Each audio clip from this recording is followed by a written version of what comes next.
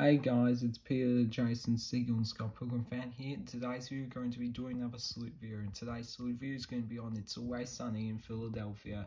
Anyways, guys, here we go.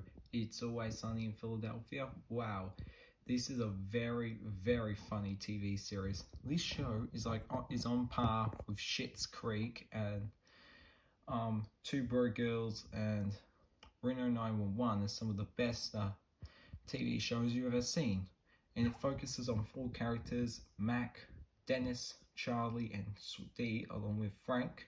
And they like to go on awesome adventures in the pub called Paddy's. Overall, this features some very fun performances from Charlie Day and uh, Danny DeVito as well. They both do very good performances this, along with Kaitlin Olson and Glenn Howerton. They're all made, they're all very good in this movie show.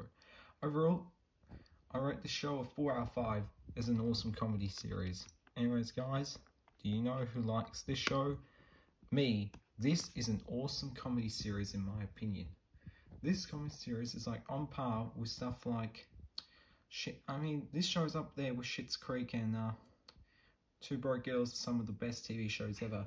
And this is along with those, along with those three, are all better than uh, Colin from Accounts, which which I and I still hate Colin from Accounts to this day because I don't find the show funny at all.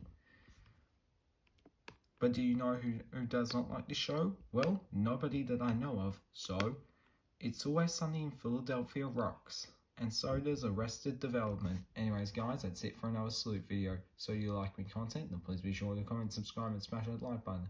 And after you've done that, you'll be notified of new videos on my channel. And if there's any more requests for any other salutes or rants for me to do, then please leave a comment down below.